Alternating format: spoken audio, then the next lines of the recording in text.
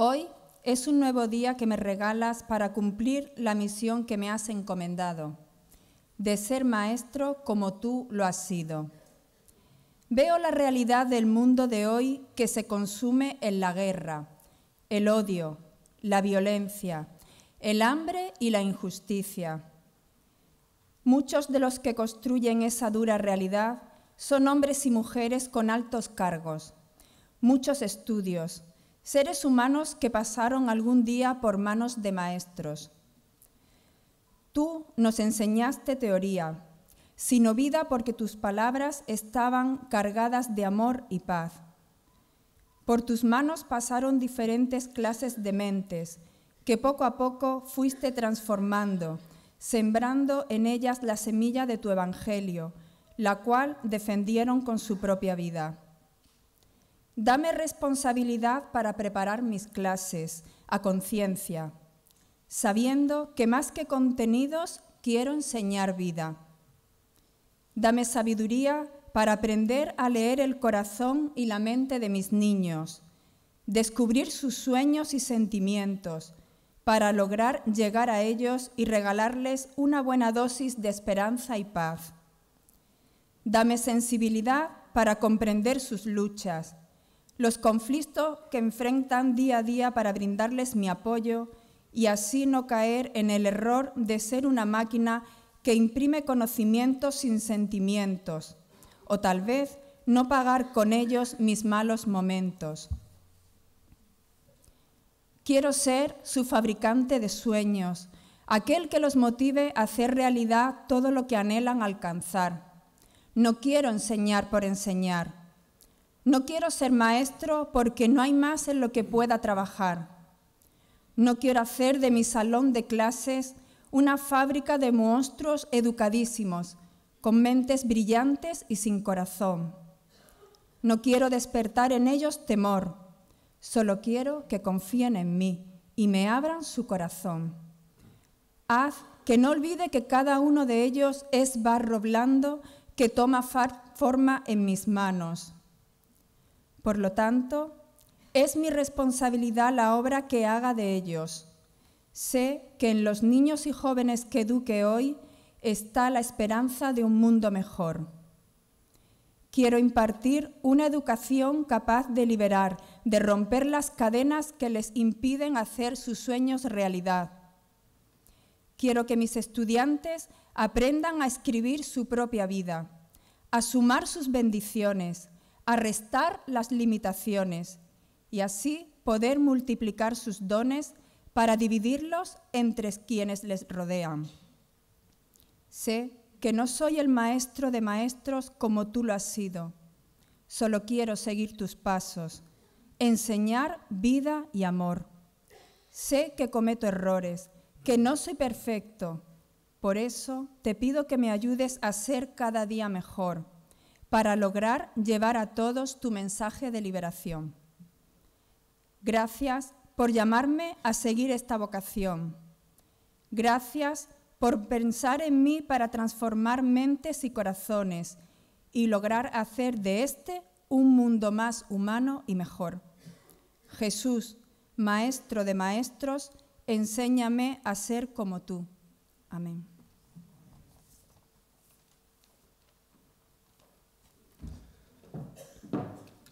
Del Evangelio de San Mateo. En aquel tiempo, llamando a la gente, a sus discípulos, Jesús le dijo, si alguno quiere venir en pos de mí, que se niegue a sí mismo, tome su cruz y me siga, porque quien quiera salvar su vida la perderá, pero el que pierda su vida por mí, por el Evangelio, la salvará. Pues, ¿de qué le sirve a un hombre ganar el mundo entero y perder su alma? ¿O qué podrá dar uno para recobrarla? Quien se avergüence de mí y de mis palabras en esta generación adúltera y pecadora, también el Hijo del Hombre se avergonzará de él cuando venga con la gloria de su Padre entre sus santos ángeles. Y añadió, en verdad os digo, que algunos de los que aquí presentes no gustarán la muerte hasta que venga el reino de Dios en toda su potencia. Palabra del Señor. Y nos ponemos de pie y fieles a la recomendación del Salvador y siguiendo su divina enseñanza, nos atrevemos a decir, Padre nuestro que estás en el cielo, santificado sea tu nombre, venga a nosotros tu reino, hágase tu voluntad en la tierra como en el cielo. Danos hoy nuestro pan de cada día Perdona nuestras ofensas, como también nosotros perdonamos a los que nos ofenden. No nos dejes caer en la tentación, líbranos del mal. Amén. Oremos. Santa María de la Victoria, Reina y Madre nuestra, en este día me ofrezco todo a ti. En tus maternales manos abandono toda mi vida, toda mi existencia, todo lo que tengo, todo lo que soy, soy todo tuyo te confío mi libertad, mis proyectos, mi alegría y mis tristezas. Me consagro a ti, esclava de mi Señor, con el firme deseo de vivir tu maternal consejo. Haced lo que Él os diga. Sé tú la estrella que me guíe por los senderos de esta vida hasta tu Hijo único, nuestro Señor, y guárdame siempre en tus brazos junto a Él. Enséñame a cumplir siempre tu voluntad como tú en medio de las alegrías, gozos y dolores de esta vida, siendo un discípulo fiel, testigo de la alegría del Evangelio en medio del mundo. Soy todo tuyo, Santa María de la Victoria, Madre y Patrona nuestra, y cuanto tengo, tuyo es. Amén. Santa María de la Victoria. Muy buenas tardes a todos. Quiero agradecer al empezar a la Casa Diocesana, representada aquí por su directora, la acogida, que ya es habitual, que nos tiene, que nos depara para estas jornadas. Así que muchas gracias por este hermoso marco en que desde hace algún tiempo desarrollamos ya estas jornadas. El lema de estas jornadas es Emprendedores en familia. ¿Repetimos todos? Desde la luz del Evangelio.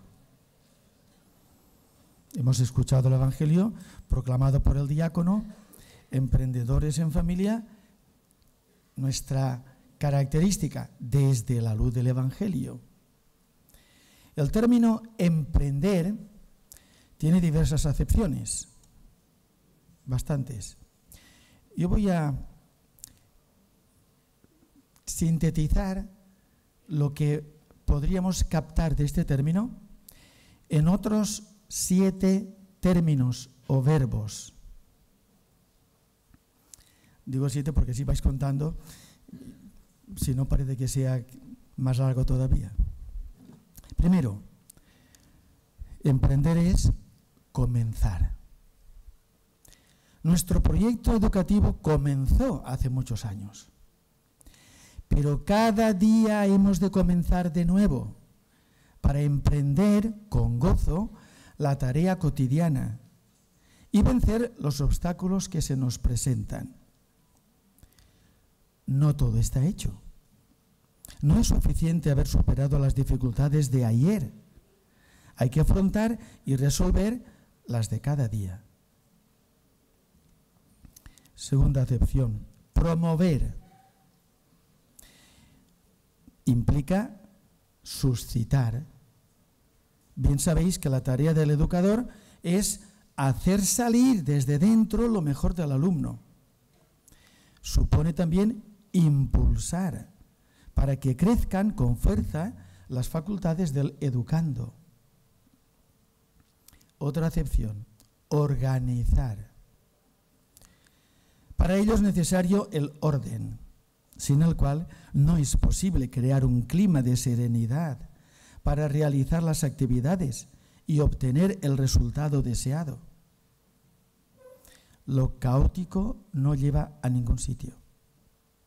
Hay que ajustar también lo que no encaja o necesita una rectificación.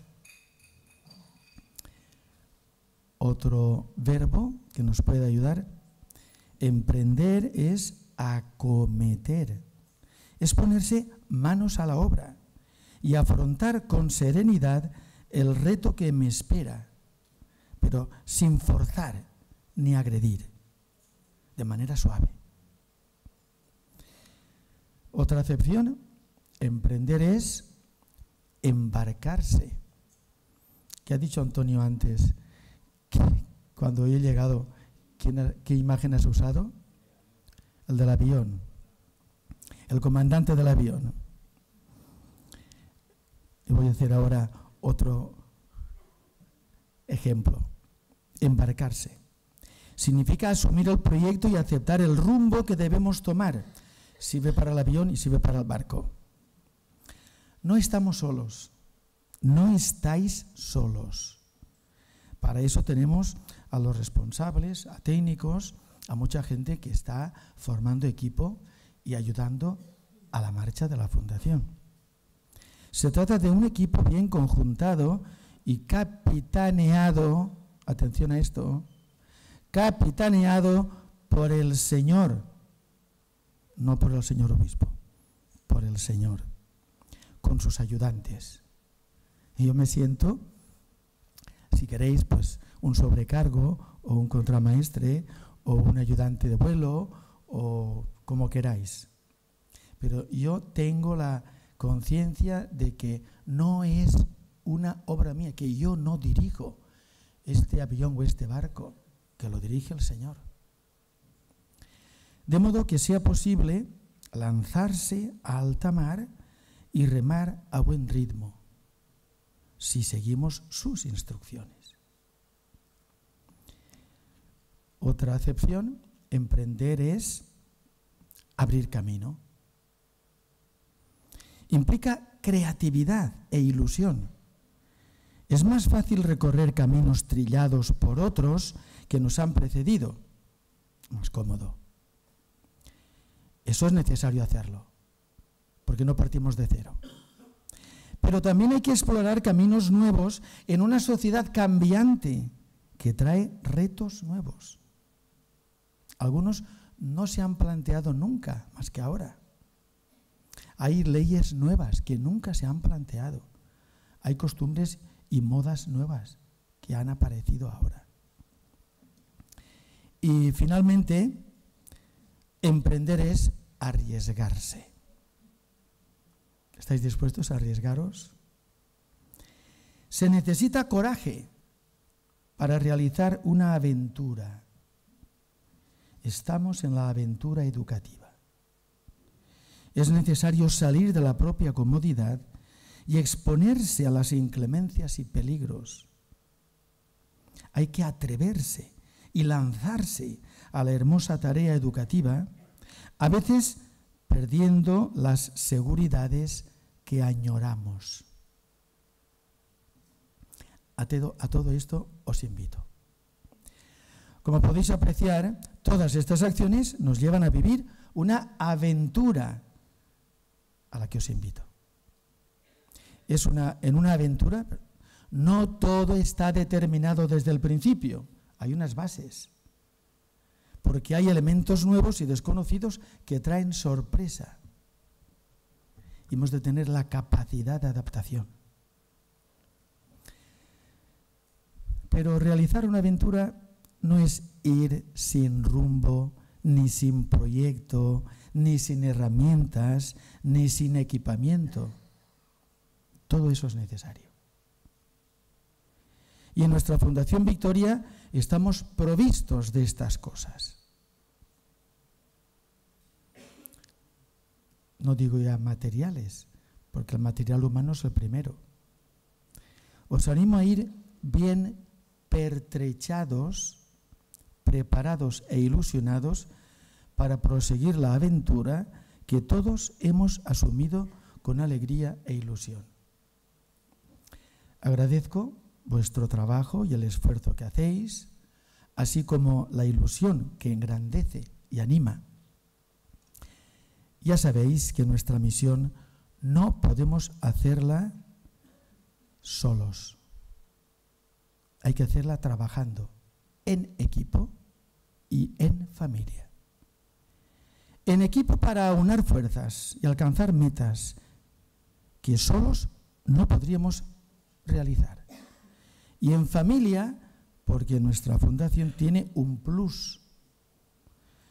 Si creamos un verdadero clima de familia, donde las relaciones son fraternas y de comunión, no son solo empresariales. ¿Al estilo de quién?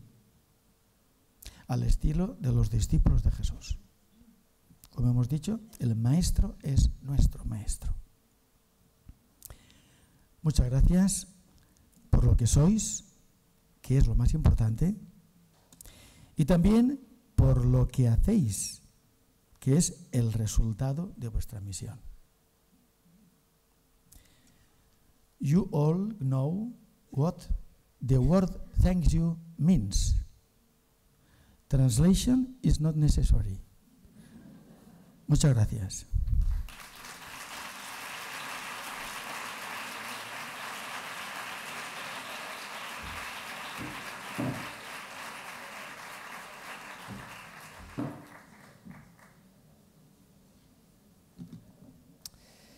Muy bien, pues em, como decía don Jesús, ¿cuánto ha cambiado nuestro mundo desde entonces, verdad? De, un tiempo a esta parte, de, aquellas primeras jornadas, ¿verdad? Diez años ya de aquellas primeras jornadas de fundación eh, en el Edgar Neville, ¿no? en el auditorio Edgar Neville, con esa ponencia de don Fernando Sebastián, a quien tanto echamos de menos, a quien tanto debemos aquí en la Fundación Victoria. Ha cambiado todo, ha cambiado nuestros jóvenes, eh, rara, rara vez llevaban un móvil encima, hoy lo llevan absolutamente todos. Eh, hoy en día hay un ordenador, un chat GPT que te hace los trabajos de clase sin estudiar, Em, los índices de natalidad han bajado hasta niveles extremos, hay nuevas leyes, como recordaba don Jesús.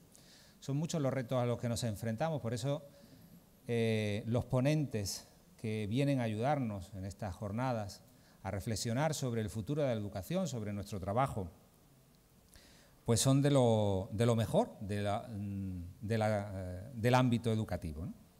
Son expertos que podrán ayudarnos a abrir nuestras mentes, a entender cómo podemos servir mejor a nuestros alumnos, porque no hay que olvidar que el servicio es a lo que Jesús nos ha llamado, al servicio, estar al servicio en la misión en la que Jesús nos llama desde nuestra identidad cristiana. La primera ponente, que ya está aquí preparada, eh, eh, viene desde nada más y nada menos que desde Venezuela.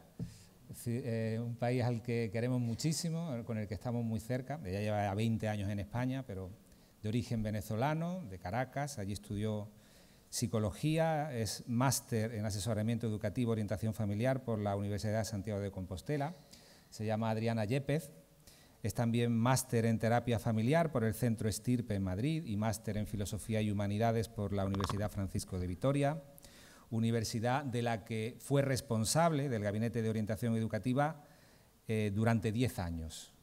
Su extenso currículo lo tenéis en la web, eh, sería muy largo extendernos, pero para resumir y yendo a lo importante podemos destacar que es la coordinadora del área de educación de la Fundación Botín y codirectora del programa especialista en educación emocional y de la creatividad para la transformación educativa de la universidad. Adriana Yepez, Estamos deseando escuchar tu ponencia, El valor de la educación en la sociedad. Así que adelante cuando quieras. Bueno, muchísimas gracias, eh, especialmente a la Fundación Victoria. Muchas gracias al señor obispo también por la, por la invitación. Y bueno, y a todos vosotros por estar hoy aquí. Para mí es un honor participar en estas jornadas en estas décimo jornadas de la Fundación Victoria. Estar hoy aquí con vosotros, venir a Málaga, aunque me voy con la deuda de que me haya recibido con un día de lluvia y no con un día de sol, ¿no? Le dije, le dije a mis hijos esta mañana, bueno, mamá se va a la playa. Y entonces, mamá, ¿qué morro tienes? Y yo, bueno, pues lo siento, vosotros al colegio, a mí me toca darme un paseo y ver un poco el mar, ¿no? Seguro que eh, va a ser más calor y más sol y más todo que aquí, ¿no? Y cuando salgo del ave y veo y que hace falta paraguas, yo digo, ¿paraguas? ¿Cómo paraguas, no? Eso me pasa por haber estado esta mañana, ¿no? Mm, chuleándome, como dicen los niños, del día que iba a pasar. No pasa nada porque así me quedo con la asignatura pendiente de volver y, disfrutar de un día de sol aquí. Como decía, gracias de verdad por, por, la invitación, aunque debo reconocer que cuando me llamaron, eh, tanto de Fundación Edelvives, a quien también agradezco porque son quienes me invitaron directamente, y, y en Fundación Botín, y me dijeron, Adriana, tienes que ir a dar una conferencia, El valor de la educación en la sociedad. Eh, bueno, ya es dentro de dos semanas. Y yo digo, ¿pero cómo así? Me dice, bueno, vas a sustituir a Carmen Guaita. Y yo dije, bueno, no puede estar y tal. Entonces es verdad que en el momento pues te tiembla porque dices, pero ¿y qué les voy a contar yo que todo este público no sepa ya? Que están en el día a día de las aulas, que están en el día a día con los alumnos, que están con padres, que están con familias, que están en la realidad de lo que está pasando. Me dijeron, venga, seguro que, bueno, que puedes compartir un poco todo lo que estamos haciendo. Y debo reconocer que me ha dado mi, sustito, ¿no? Cada vez que me ponía a prepararlo decía, ay madre mía, ay madre mía. Y también tengo que reconocer que cuando he llegado aquí, que venía con los nervios, y he visto aquí a la Virgen, he dicho, bueno, ya está, estoy, estoy acompañada. Me voy a quedar tranquila y se lo encargo a ella y que sea ella la que me vaya ayudando a decir lo que tenga que decir y lo que más necesitéis escuchar. Bien, me, dejo el reloj aquí porque yo tengo mucho peligro con los tiempos. Cuando uno cuenta cosas que le entusiasman, pues tengo peligro y he preguntado ya varias veces cuánto tiempo es, cuánto tiempo tengo. Vamos a empezar em, con la presentación, pues como, como dijo antes Antonio, pues es verdad que me dedico al mundo de la educación. Aunque soy psicóloga, me he metido en el mundo de la educación, tanto en la parte de familia como en la parte de orientación. Y, porque creo que, pues que la educación lo es todo, prácticamente. Cuando me dijeron también de la conferencia, me ponía a pensar, claro, es que no hay una profesión que tenga tanto tiempo cosechando la vida de personas. No hay una profesión que pase, que la gente que pasa por sus manos dure tanto tiempo.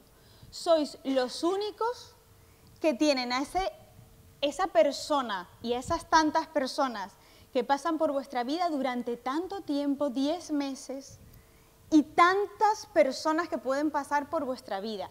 Creo que no hay una profesión que impacte tanto en la vida de unas personas como son los maestros, como son los maestros, porque los médicos hacen mucho, todas las profesiones hacen mucho, pero el, maestro, más allá de la familia, está ahí durante 10 meses acompañando la vida de tantos alumnos. Y cada año hay un grupo diferente. Sois las personas que más vidas impactan. Esto es cuando pensamos en el valor de la educación. ¿Y qué es educar? Que era la pregunta. ¿Qué es educar? Esto también lo sabéis muchísimo más vosotros. Y ya en la propia oración que hemos rezado al principio, vais a encontrar muchas de las cosas que os he traído y que vamos a compartir. Y ya antes también el señor obispo habló pues, de educar, pues efectivamente es enseñar a vivir. Yo es verdad que soy muy visual y cada vez que voy a hacer alguna presentación me, necesito mucho las imágenes porque creo que transmiten, ¿no? Y, preparando esto también me venía, pues es que, ¿cuál es la imagen? Pues es que es verdad que yo me imaginaba, cuando llega la clase nueva, en septiembre, me imagino un campo vacío, sin un solo árbol, y ahí está, ahí está la tierra, venga, vamos a empezar en septiembre. Y ya en julio veremos con qué nos vamos. Y lo que me venía a la mente constantemente era un campo vacío. Y luego, pues yo digo, es que la educación son las raíces.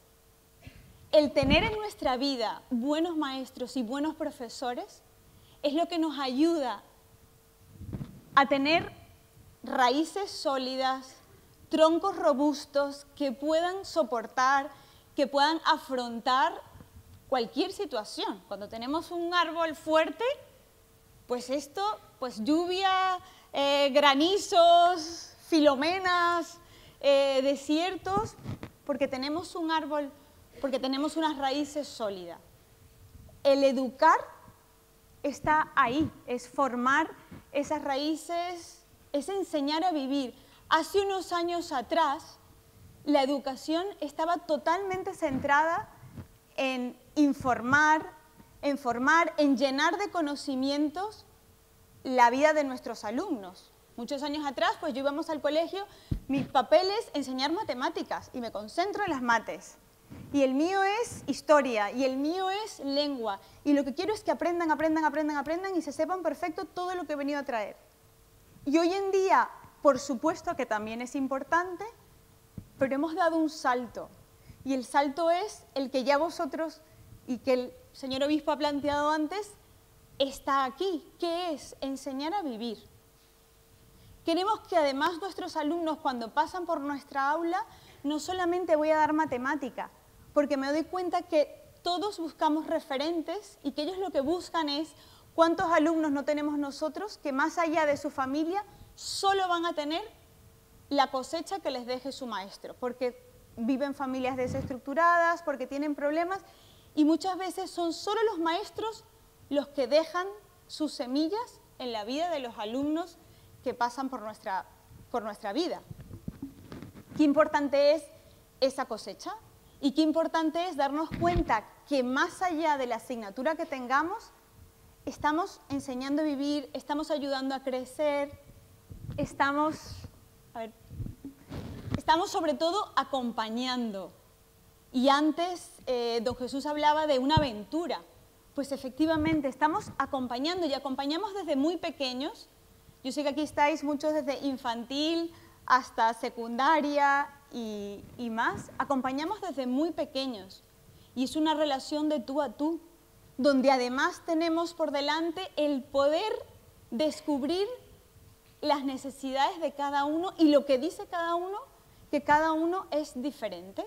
Cada uno viene de una realidad. Antes tuve una comida con, con, Alejandro y con Ana y me decían, bueno, sí, es verdad que muchas veces nos pasan alumnos, cada uno es de su padre y de su madre, ¿no?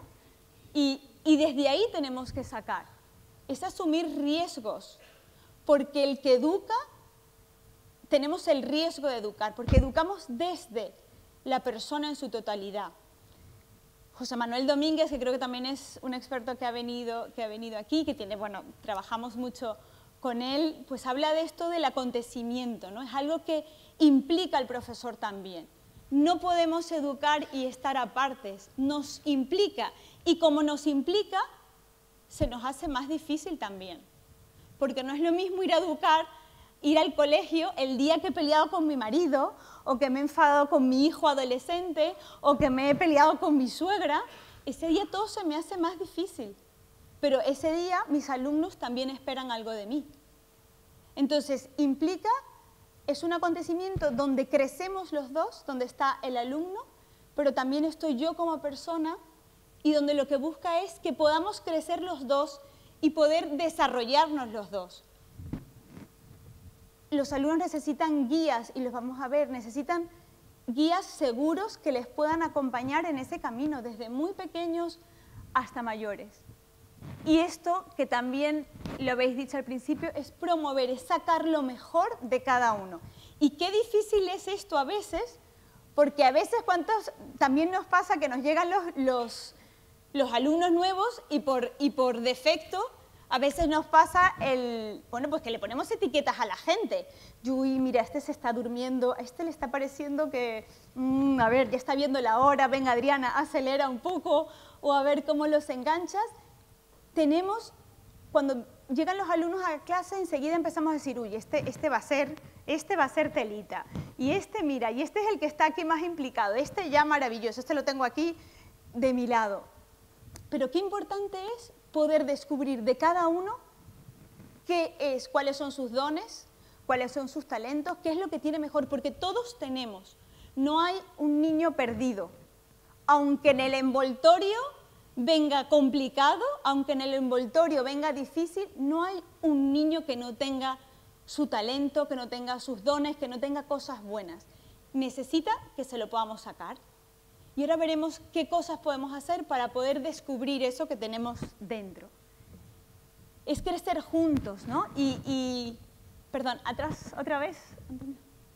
Es crecer juntos y aquí darnos cuenta cómo, pues claro que son subidas y bajadas. como las de nosotros mismos. Tenemos muchos momentos donde hay cosas que se nos complican y otras cosas que se nos van dando más fáciles. Y la idea por eso es tan importante el acompañar. Antes de continuar, ahora sí la siguiente, antes de continuar os quiero hacer una pequeña pregunta y os voy a pedir a todos que hagamos el ejercicio de volver a nuestro colegio, a nuestra escuela.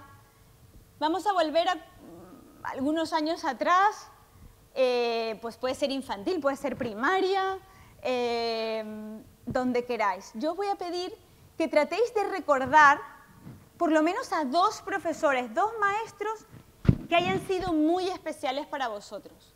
Y que si vemos hacia atrás, vosotros decís, uff, enseguida me salta, a mí me viene enseguida a la mente Beatriz, mi profe Beatriz, que fue de infantil, pequeñito, y me viene Omaira de quinto grado. Y ahora os contaré por qué me vienen ellos. Pero os voy a pedir que por un minuto tratéis de recordar al menos dos y que tratéis de pensar por qué esos maestros, esos profesores han sido especiales para vosotros. ¿Qué os han hecho sentir para que hoy, en, lo que yo estoy haciendo esta pregunta, os han saltado a la mente esos dos maestros? Os voy a dejar unos minutitos para que lo penséis y que penséis por qué os hacía sentir, por qué os hacían sentir especiales.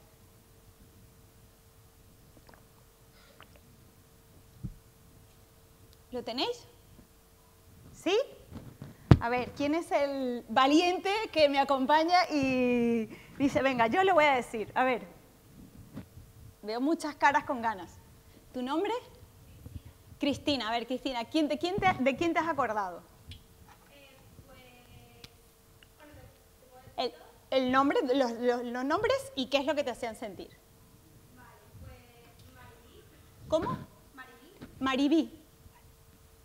¿Sí? ¿Y qué te hacía sentir?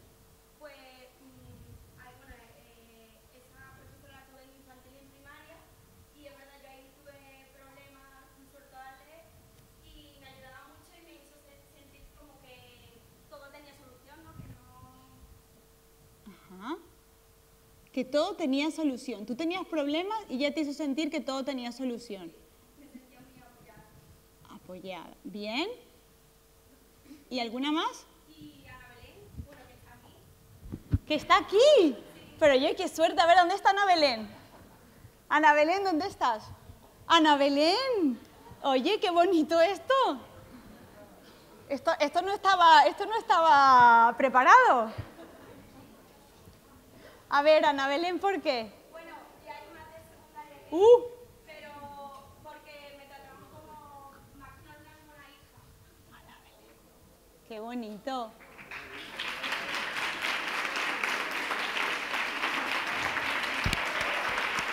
Bonito.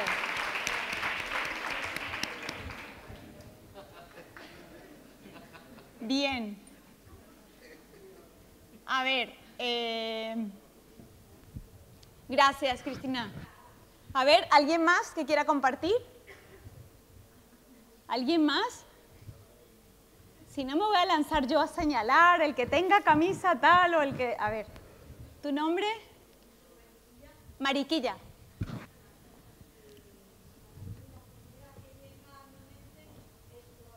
Flora.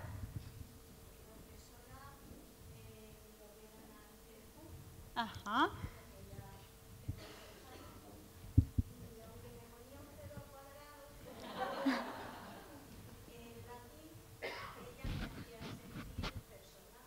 Me hacía sentir persona.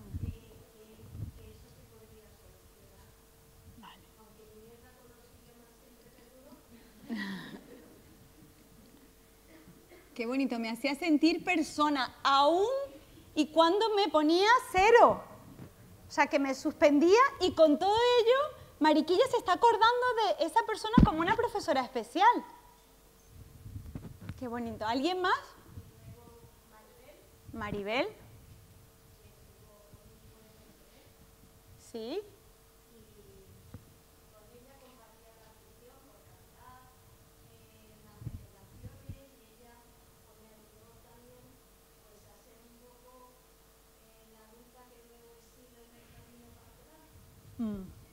A ser adulta, la adulta del camino pastoral.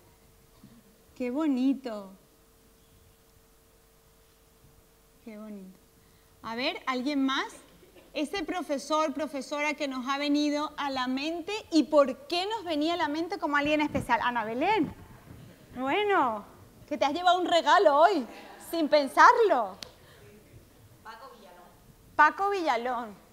A ver, ¿por qué Paco? ¿Y por qué Paco?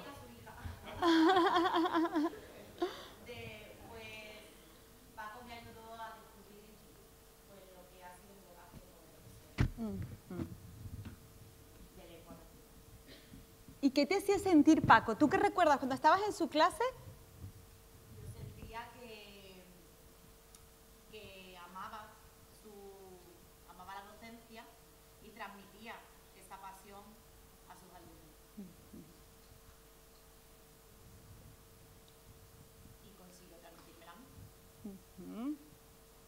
Qué bien. A ver, ¿alguno más? Ah, Qué bien, mira, ya alza- alzan las manos, tres. A ver, ¿tu nombre? Per- perdón, el compañero para darle paso a, a algún chico también. ¿Tu nombre? Ismael. Benito. ¿Qué te hacía sentir Benito, Ismael?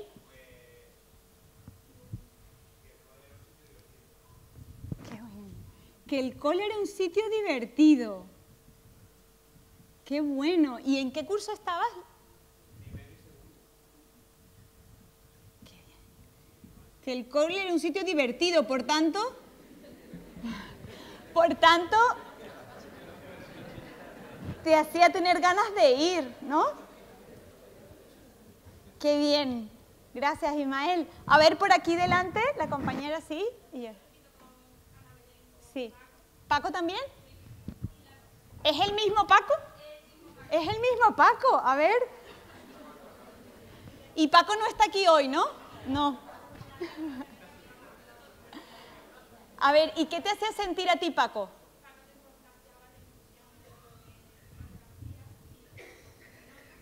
Te contagiaba el entusiasmo.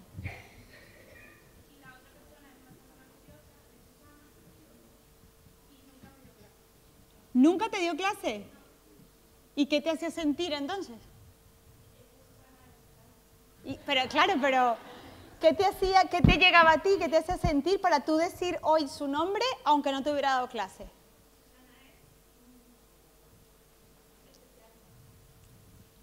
Mira cómo se emociona, además, ¿no? Es especial.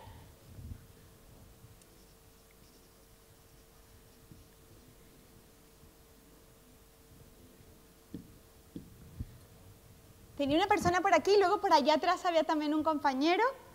¿Querías? Sí. Seño angustia.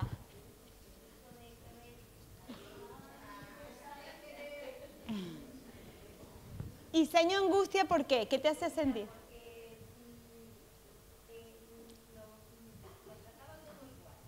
Ajá.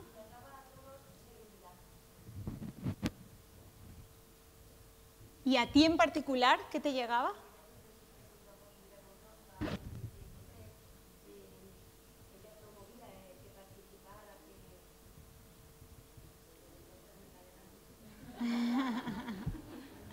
Nos hacía sentir especial y nos daba seguridad. Qué importante esto, ¿no? Vamos allá al compañero allá atrás. Sí. Buenas tardes. Sí.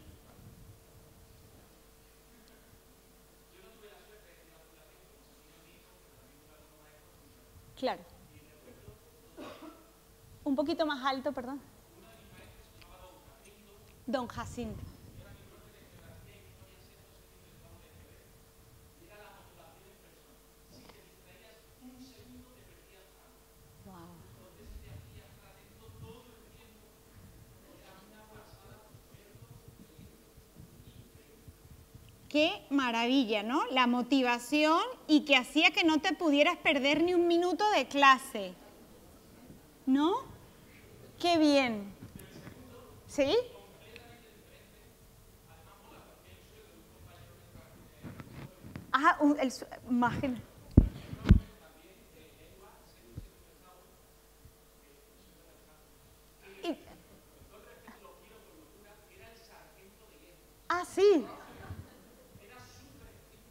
¿Cómo se llamaba, perdón?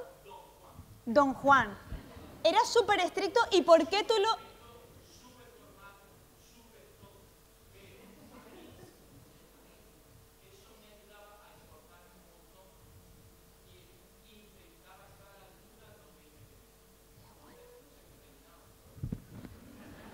Oye, pero fijaros que también eso es importante porque eh, era estri- estricto y tenía disciplina, pero a ti te ayudó, ¿no? Bueno, vamos a quedarnos con esto. Me encantaría escucharla de todos. Yo también os voy a contar, a mí siempre me viene a la mente, eh, me viene la mente mi, mi profe Beatriz, que era de pequeñitos, de, no sé, tendría cinco años, y en ese momento mis padres eran médicos los dos y tenían que estar haciendo guardias constantemente. Yo decía que lo peor que le podía pasar a un niño era tener unos padres médicos, y yo estaba con mis abuelos mucho, y, eh, y esta, esta seño para mí era especial ¿Por qué? Porque me hacía sentir, pues lo que dijeron por ahí, me hacía sentir también como una hija, me hacía sentir muy querida, me hacía sentir especial, sentía cariño de su parte. Donde estaba, donde estaba Beatriz, yo me sentía segura. Y luego en quinto grado recuerdo mucho, de una manera muy especial, también a mi profe Omaira, porque a mí la historia hasta ese momento no me gustaba mucho. Y de pronto cuando la conocí a ella tenía esa capacidad de dar las clases como si fuera un teatro, con un entusiasmo, con una ilusión, y nos hacía sentir a todos que aunque no nos gustara, podíamos salir bien en esa asignatura, nos podía gustar, podíamos... Yo sentía que nos sacaba lo mejor, tanto fue así que esa fue mi mejor nota ese año en la de sociales, porque disfrutaba estudiando sociales y nunca me había pasado antes con la historia, nunca. Y esa vez yo lo disfrutaba porque me sentía que tenía que devolverle también ese entusiasmo que ella ponía en sus clases y yo quería transmitir, oye, yo estoy aprendiendo con esta forma de dar la clase. Vamos a quedarnos con esto, eso. Vamos a quedarnos con esto ahí porque para que seamos conscientes, que esto sobre todo lo sabéis vosotros, que seamos conscientes de ese impacto del que hemos hablado al principio. Tenemos muchos profesores y muchos maestros, ojalá sean muchos, o por lo menos uno que haya dejado huella en nosotros. Y eso no lo quita nadie. Lo que nosotros vamos cosechando en la vida de cada uno de los alumnos queda.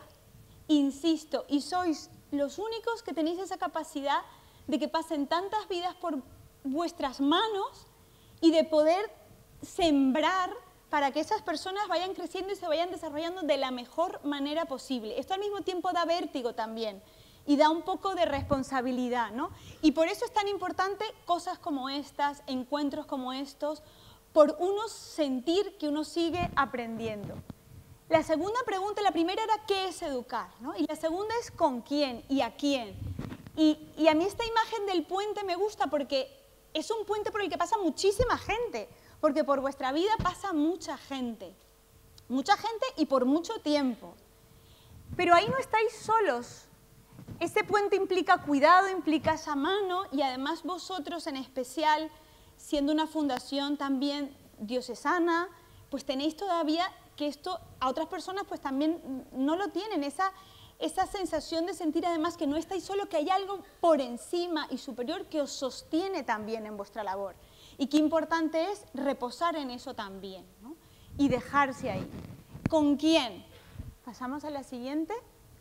Pues aquí estamos, hay tres puntos, tres vértices, tres elementos claves. ¿Con quién en el sistema educativo? Estáis vosotros, por supuesto, los centros educativos los centros educativos, que es donde se va cocinando todo y donde se va haciendo todo. Y que cada vez tenéis nuevos retos, ¿no? Porque este año yo sé que está todo el mundo colapsado con la digitalización, estamos todos con los cursos de digitalización, con la LOMLOE, con los sistemas de aprendizaje, a ver cómo encaja una cosa, cómo encaja la otra, y es una locura, y, y, y eso a veces nos distrae sin querer, ¿no? El mismo currículum, el decir, es que se me va, se me va el tiempo, ya va a venir Semana Santa y todavía me queda esto, me queda lo otro, me queda tal, y sigo con el curso de digitalización y sigo con la LONLOE. Y todo, y todo lo que va pasando, ¿no? que a veces, sin querer, es importante ser consciente de ellos para que esto no nos distraiga, porque hay muchas cosas que nos distraen en el día a día. ¿no? la familia es ese, es ese otro lugar donde ocurre todo también.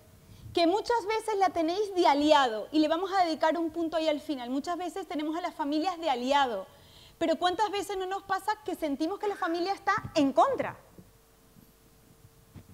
Que sentimos que la familia mm, no contamos con ella. Y sin querer nos quedamos ahí pegados, pensando, claro, es que estos padres si fueran otros padres, es que esto si fuera otra manera, es que este curso que me ha tocado, pues que claro, es que, es que no me ayudan, es que claro, estoy solo. Y eso a veces también nos distancia, ¿qué hacer con la familia? Pero a veces también la familia piensa lo mismo. Cuando los padres van al cole, lo que piensan es, están pensando que no lo hago bien, están pensando que no soy un buen padre, están pensando, y entonces sin querer a veces se genera ese desencuentro, ¿no? Nunca las familias habían estado tan implicadas, tan implicadas de ir, de asistir a los colegios. Esto no pasaba tantos años atrás. Y ahora las familias van, hay chat de padres, hay esto, hay lo otro. Pero luego a veces siento que no hay el encuentro, que no estamos conectados. Y muchas veces es porque cada uno está enfocado en defender lo suyo. Y no nos giramos a ver lo que está pasando en el otro. Y cada uno siente, cada uno se pone a la defensiva, ¿no? esta familia está pensando que yo no lo hago bien, o el padre piensa, claro, es que este señor está pensando que yo... Y entre medias está ahí el alumno, ¿no? Entonces, y las familias, pues las familias hoy, vosotros sabéis todo lo que ocurre en las familias. Hay familias, por supuesto, maravillosas y estupendas de donde uno puede tirar, pero también la familia está viviendo, pues, una cantidad de, de situaciones complicadas. Muchas familias desestructuradas, de manera general, el año pasado tuvimos los porcentajes más altos de suicidios en jóvenes. Está la situación después de la pandemia, todos los informes ponen de manifiesto que todo el tema de salud mental es más importante que nunca, porque está afectado y todo esto influye dentro de la familia. Las familias trabajan, el padre y la madre, sienten a veces que no llegan, les cuesta a veces poner límites a los niños, porque claro, si estoy todo el día fuera, cuando llego, si me va a poner a pelear también porque no hace los deberes, pues mira, ya está que no los haga, ¿no? Que es un error, porque aunque sea un ratito que esté con mi hijo, pues también hay que poner límites y esto, pero todas estas cosas están pasando y eso está ahí. Y, bueno, y familias, y tenemos todo tipo de familias también, ¿no? Y con eso también tenemos que, eh, pues, adaptarnos, aceptarlo y saber qué es lo que toca. Y en los alumnos, pues claro, toda esta inmediatez que hay, el mundo de las redes sociales, que esto muchas veces no lo vivimos nosotros.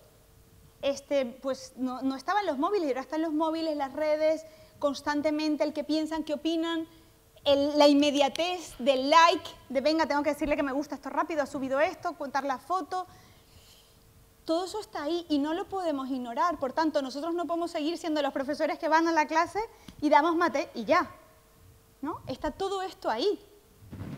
Y esto forma parte de, ese, de ese sistema. ¿no? Entonces, ¿cómo podemos hacer con esto? ¿Qué podemos hacer? Y aquí es donde quería también contaros cosas de las cosas que estamos haciendo. Pasamos.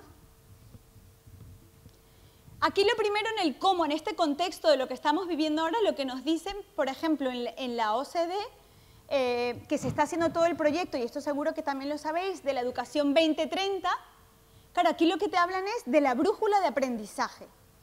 Nos estamos centrando en la brújula de aprendizaje y aquí, de las cosas que son más interesantes, que es donde más quiero incidir, en esa brújula de aprendizaje, lo que ponen en el centro además de la alfabetización digital, además de todo el tema de la literatura y las matemáticas, ponen en el centro también la salud física y la salud mental.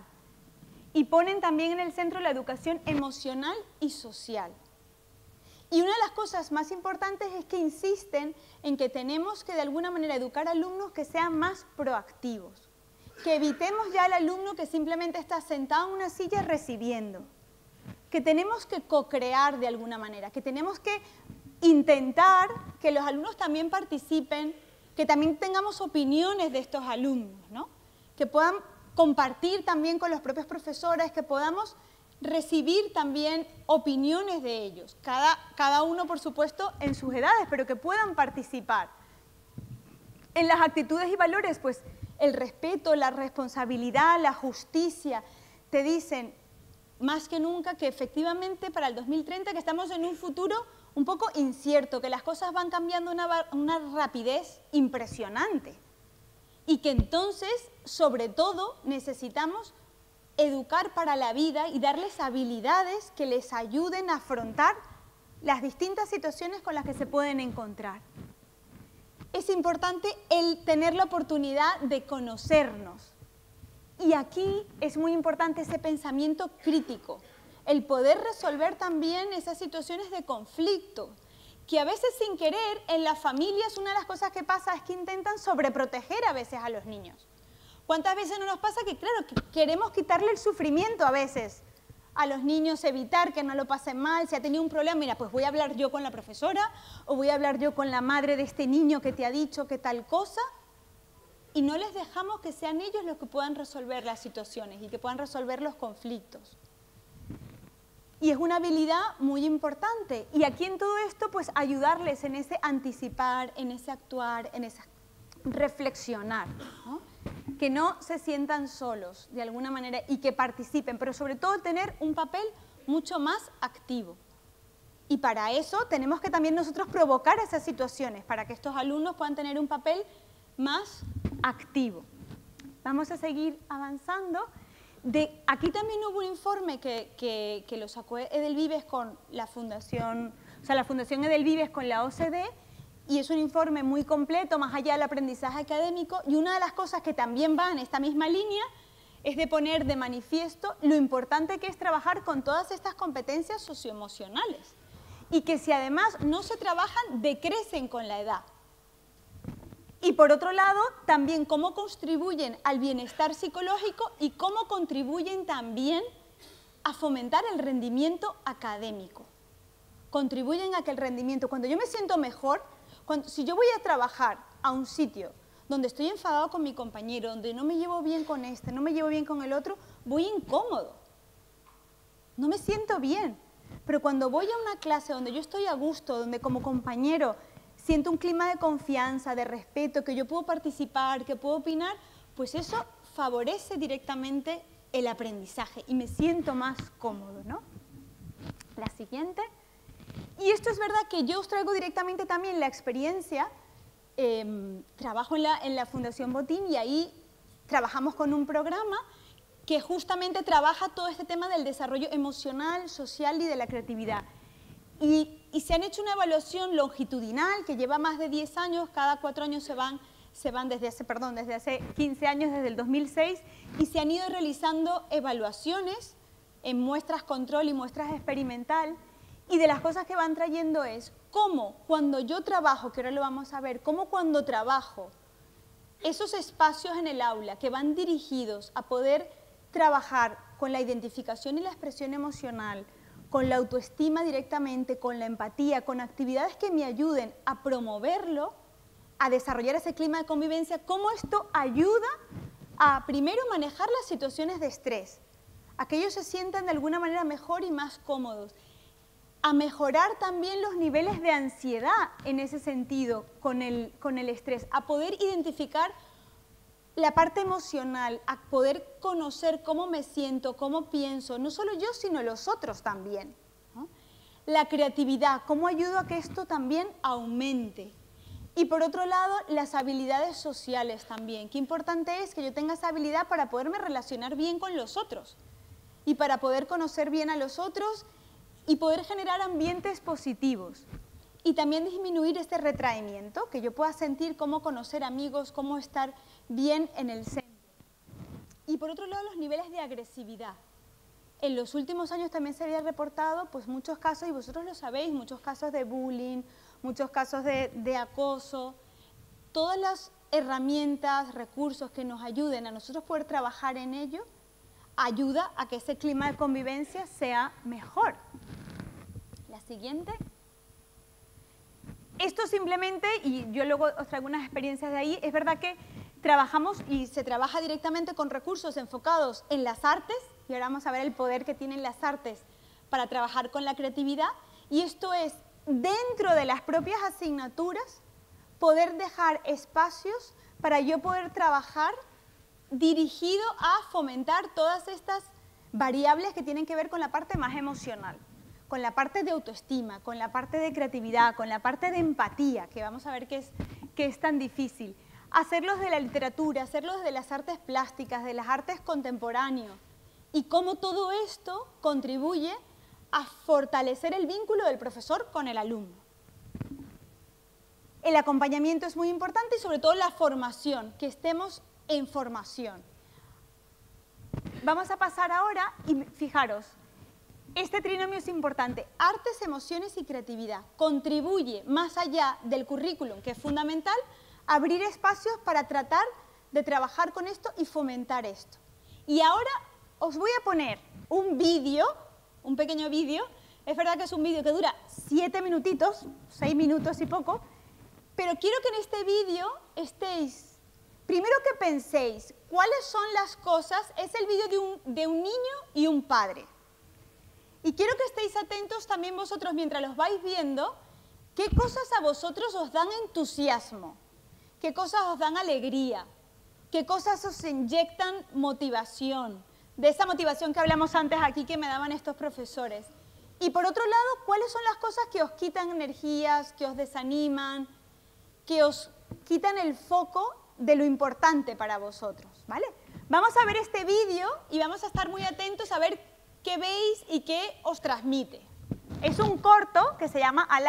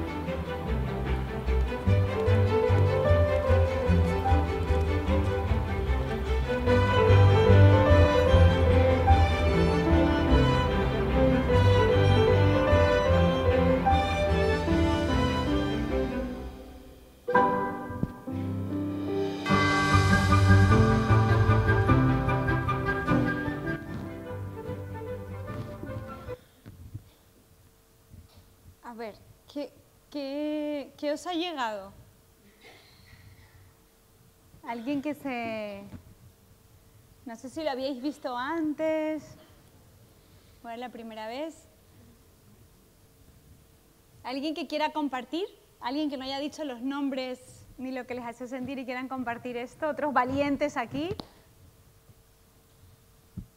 ¿Qué os ha hecho sentir? ¿Qué, qué os ha llegado? ¿Qué os ha dicho? A ver. No puede ser que nadie, nadie, ¿no? Lo podéis hacer sentados si queréis. No os tenéis que levantar. Si hay una voz ahí tímida en algún sitio, ¿qué os ha dicho? Este, ¿Qué os llega? ¿Conectáis con algo? ¿No? A ver, por allá atrás. Esperanza.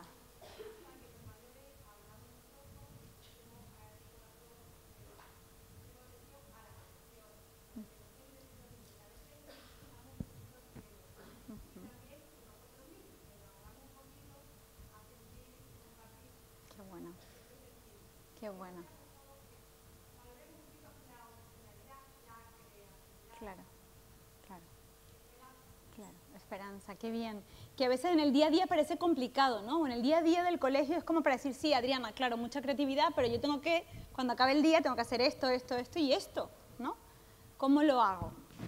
¿Cómo puedo abrir esos espacios? ¿Alguien más que quiera compartir algo que le haya, que le haya dejado pensando esto? ¿No? Em, es verdad que, que- nos dice, o sea, qué importante es cuando os hacía pensar a vosotros también, qué me quita a mí el color, qué me quita a mí el entusiasmo, que también hablaban al principio. Era un profesor que no podíamos dejar de pestañear porque si dejábamos de pestañear algo nos habíamos perdido, ¿no? ¿Qué nos hace a nosotros quitarnos ese entusiasmo? Qué importante es tenerlo identificado a mí, lo que me quita el color a mí y también lo que me da. Porque ahora en este momento también se trabaja mucho el tema del cuidado, del cuidado docente, del cuidado, del autocuidado, qué importante es tener claro qué cosas también nos ayudan a nosotros para hacer mejor nuestra labor. Y también en nuestros alumnos, ¿qué es importante para ellos? Hace unos días en una clase eh, del máster puse también este vídeo y luego en un foro que tenemos una profesora me dijo, oye, me gustó mucho haber visto el vídeo porque justo estaba dando los, las letras a mis alumnos y les he dicho que hicieran las letras con plastilina. Ya no con papel, ya no con tal, intenté hacerlo de otra manera, ¿no? ¿De qué manera conecto yo y de qué manera genero ese entusiasmo? Y aquí es importante, cuando decimos, y aquí ahora nos vamos a quedar con cosas que son importantes para nosotros, ser conscientes, lo primero, en este cómo donde estamos, es ser consciente de la huella que dejamos. Eso que vamos también al principio de las raíces, dejamos huella en la vida de nuestros alumnos. Y esa huella se transforma también en, en- en autoestima, en crecer en confianza. Cuando yo le transmito a un alumno que puede, que creo en él, que es capaz, esa huella se queda ahí y le ayudo a poder desarrollarse. También si le transmito lo contrario, también se le queda. A mí no se me olvida, una de las primeras formaciones que hicimos en Madrid en un colegio, que íbamos con, otras, con, otros, con otros psicólogos, fueron a hacer una formación a un colegio y, a- y trabajando en autoestima, había una profesora que subió la mano y dijo, mira, pues yo a más de un alumno le he dicho, mira, tú no vales ni para cajero de ahorra más, ¿no? Es como decir aquí, no vales ni para cajero de Supersol, ¿no? Y, y yo le decía, pero mm, me dice, pero a ver, es que si no vale, no vale. Si no vale, no vale. ¿Para qué le voy a mentir? Y por otro lado, es que resulta que justo ese psicólogo estaba compartiendo que en su consulta había tenido a un adolescente, que seguro no era el mismo, pero que una de las cosas que compartía que le estaba costando sacar su carrera y le decía, es que ya mi profesor me lo dijo en su día, que yo no iba a ser capaz de sacar ninguna carrera y ningún título. Y eso se queda grabado en sangre, aunque no lo creamos. Y hay personas que le generan un efecto rebote y todo lo contrario y dicen, yo voy a ser capaz de transmitirle que sí puedo. Pero hay otros que no, que se quedan con esa marca. Entonces, dejamos huella en la vida de nuestros alumnos. Y, y hay que ver esa huella, cómo podemos buscar espacios que me ayuden a mí a conectar de una manera diferente con ellos. con, con el programa en el que trabajamos, a veces, claro, ¿qué es lo que tienen? Tienen espacios donde de pronto hacen actividades como este mismo vídeo, que es una actividad, y donde en esa actividad tienen algunas preguntas antes, algunas preguntas después, que les permite conocerse más allá de lo eminentemente académico. Donde yo puedo conectar sabiendo un poco qué cosas me preocupan, qué cosas me dan miedo, y donde el propio profesor es el que hace el recorrido primero en sí mismo. Es importante primero nosotros que nos conozcamos en todo esto. Cuando trabajamos en educación emocional y social y todo esto, que además sé que mañana también vais a estar con Javier Urri, vais a trabajar también más en estas cosas, lo primero a veces es trabajarlo también en nosotros mismos, ¿no? Yo soy la primera, antes lo compartía en la comida, donde a veces estoy trabajando empatía y todo eso, pero luego mis hijos, claro, me dicen, claro, mamá, mm, es que no los escuchas, ¿no? Cuando a veces en el día a día, después cuando uno termina cansado, ¿cuántas veces no nos pasa que también a nosotros nos cuesta? Y esto lo que nos hace sentir es que somos humanos, que tenemos, que es importante tener identificado qué cosas se nos dan mejor y qué cosas se nos dan peor para ponerlo en el centro y para tratar de trabajar sobre ello, porque no es algo automático. Fortalecer el vínculo. Esto es clave. Si nosotros no tenemos ese vínculo con el alumno, y claro, y lo difícil es que en una clase hay muchos alumnos, y hay algunos alumnos con el que conecto enseguida y otros que me cuestan más. ¿Cómo hago yo para tener ese vínculo con ese alumno? ¿Qué espacios puedo abrir para yo poder tener ese vínculo? Cuando se trabaja con el arte, y por eso a mí el arte es verdad que, que tiene ese efecto especial, lo que ayudamos a veces es, no queremos la parte académica ahí, sino ponemos una obra que luego os, voy a os he traído un ejemplo, donde simplemente es una obra de un artista contemporáneo, que además son dificilísimos porque parece que no entiendes nada lo que ves, pero lo que trabajamos ahí es qué te hace sentir eso, ¿no? Y hay una persona que dice, pues alegría, otra persona dice tristeza, otra persona dice... Y lo que nos damos cuenta es que no hay una respuesta correcta o una respuesta incorrecta. Y esto a los niños, que les cuesta más hablar porque sienten que, su, que nunca van a saber lo que está preguntando el profesor, en este tipo de espacios se sienten que pueden tener participación, porque pueden compartir y es una manera de irles conociendo e irles descubriendo. Es esto seguro que lo habéis escuchado muchísimo y lo sabéis, pero es verdad que cuando nos sentimos queridos, cuando sentimos que creen en nosotros, eso inevitablemente y en cualquier sitio es un revulsivo. Cuando yo siento que alguien está creyendo en mí, y es lo que decían antes por ahí atrás, claro, era muy estricto y tal, pero yo sentía que, que está transmitiéndome algo y que yo me siento ahí comprometido. ¿no? El vínculo es clave y cada uno puede descubrir la mejor manera de hacer ese vínculo, ¿no? que va más allá de lo eminentemente académico. Pasamos a la siguiente.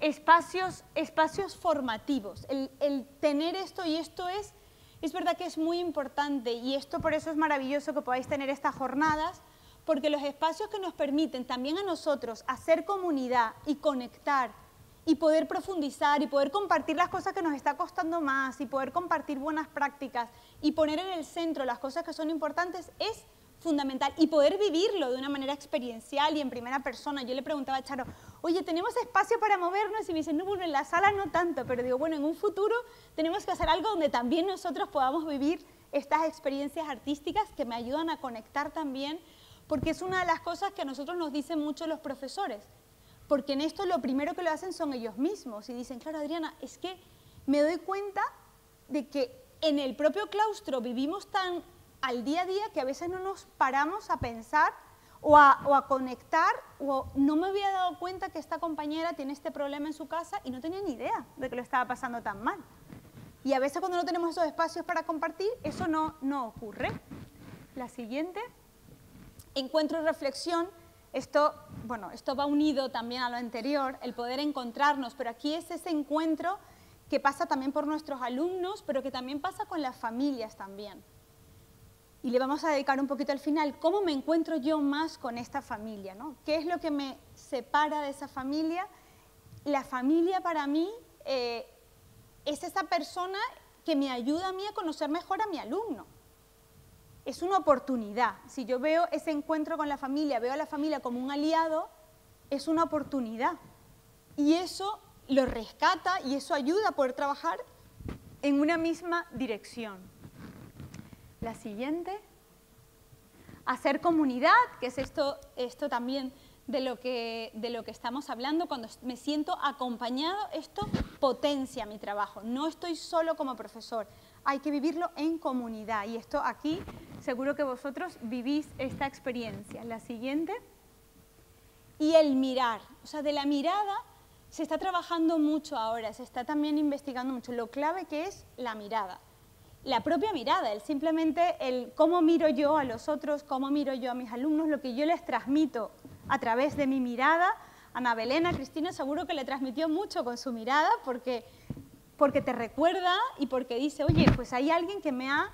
Y la mirada acompaña, el, el cómo miro yo, porque le estoy transmitiendo, creo en ti, confío en ti, eres capaz, o esto me ha molestado, pero yo estoy seguro que lo puedes hacer mejor cómo miro a los otros. Miro a los otros con etiqueta, miro a los otros con cierto recelo.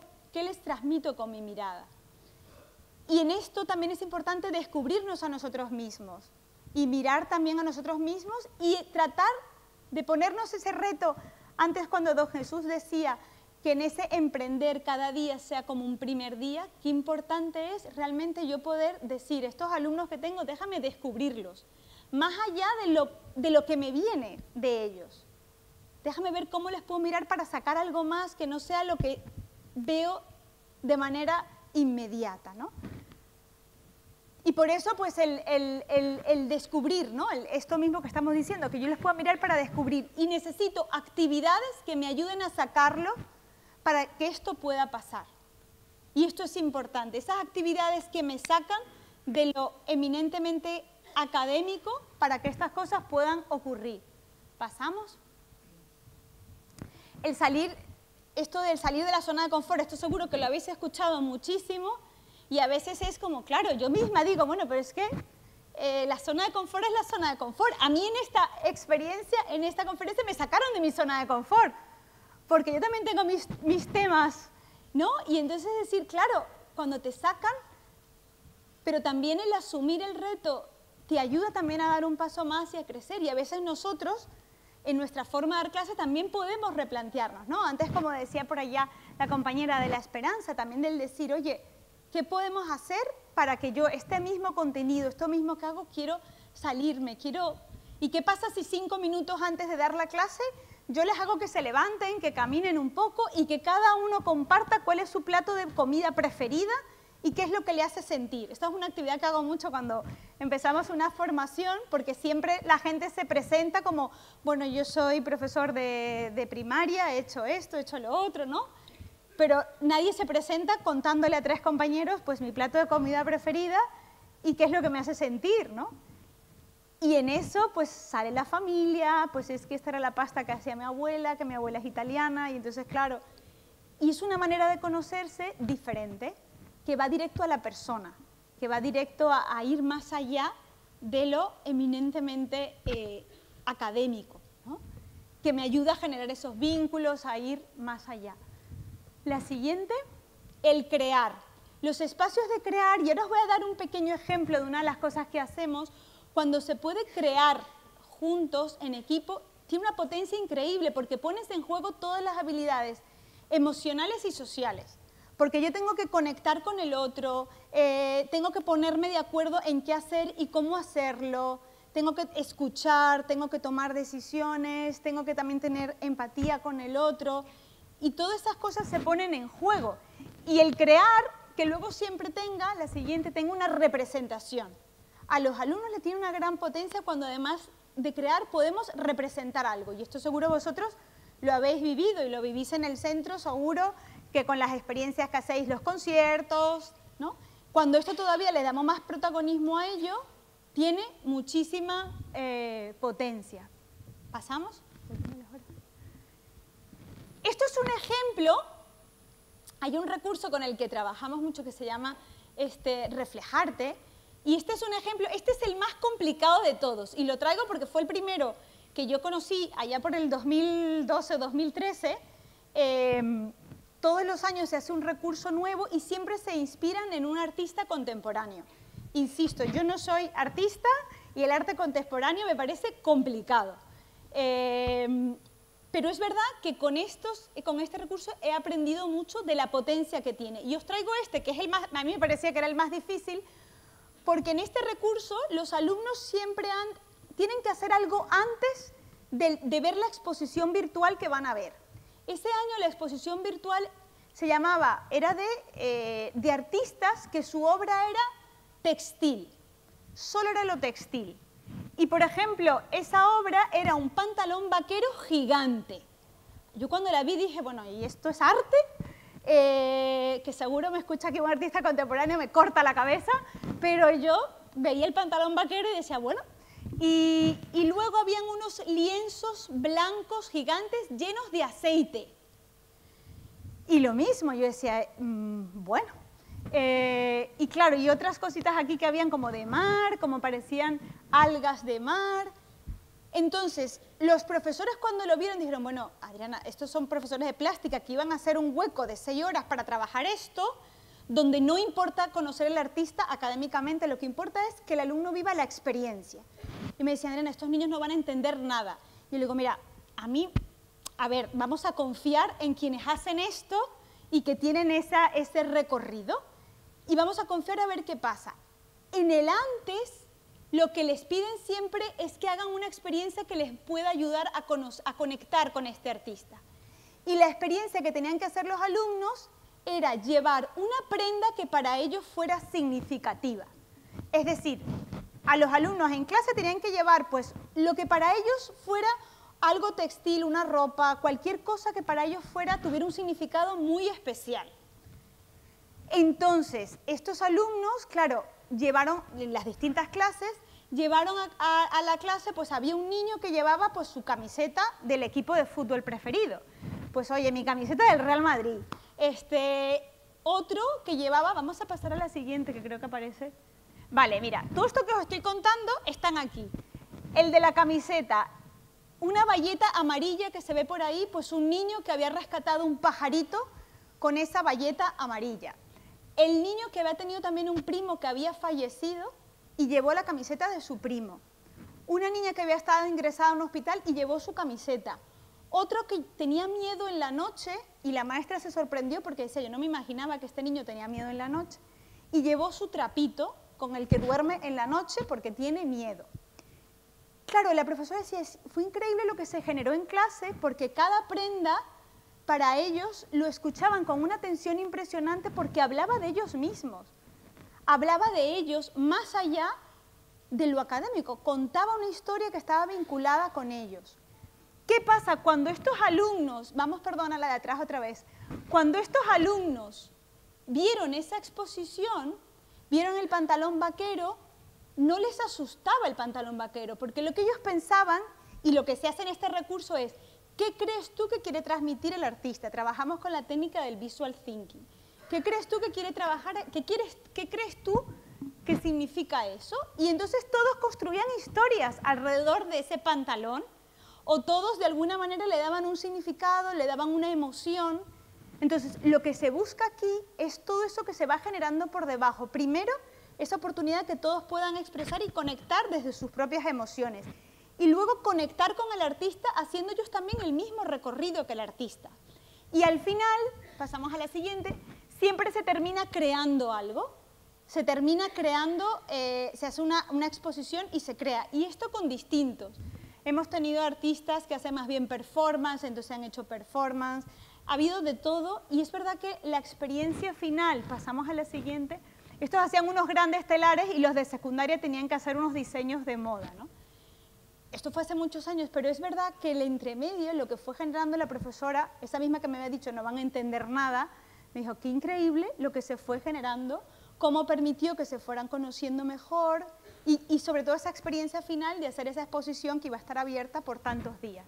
Esto simplemente es un pequeño ejemplo de cómo el arte contribuye en todo esto y favorece a todo esto que hemos ido, que hemos ido hablando.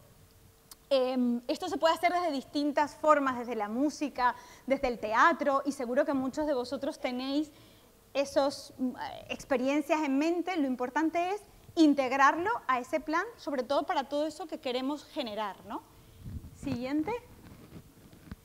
y que esto, al fin y al cabo, nos permita disfrutar, disfrutar, que esto es verdad que suena así como, claro, la magia de la educación, pero es que es verdad que nos tenemos que creer que hay una magia en la educación, que cuando los niños entran en septiembre y salen en junio, algo ha pasado ahí.